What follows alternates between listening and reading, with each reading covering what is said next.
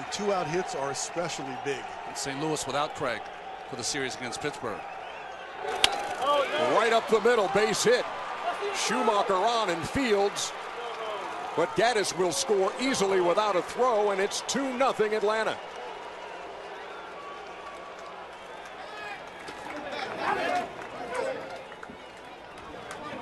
Talk about taking the home crowd out of it, Cal.